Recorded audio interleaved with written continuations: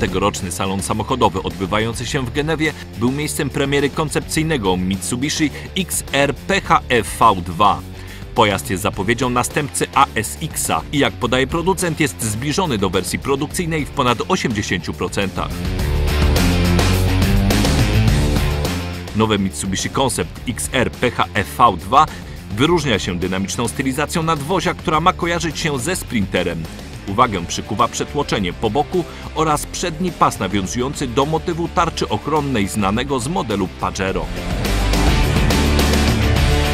Podobny motyw został zawarty w tylnej części nadwozia, gdzie znalazły się wysoko umieszczone lampy zapewniające doskonałą widoczność. Samochód mierzy 4490 mm długości, 1890 mm szerokości oraz 1620 mm wysokości, natomiast rozstaw osi wynosi 2670 mm. Wnętrze wygląda dosyć futurystycznie z minimalistyczną tablicą przyrządów oraz aluminiową ramą rozciągającą się na boki z konsoli centralnej. Projekt kokpitu pozwala zwiększyć koncentrację kierowcy za sprawą usytuowania przełączników i przycisków w konsoli centralnej i na kole kierownicy.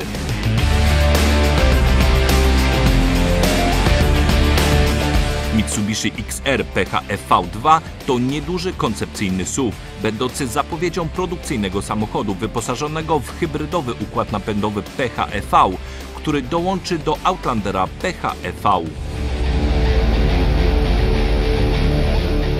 System PHEV, w jaki wyposażono Mitsubishi Concept XR PHEV2, jest lekkim i zwartym w budowie układem napędowym z silnikami umieszczonymi z przodu i z przednim napędem. Jednostka elektryczna wykorzystywana w tym napędzie generuje 163 konie mechaniczne mocy. Zgodnie z informacją producenta, system ten pozwala ograniczyć emisję CO2 do 40 gram na kilometr.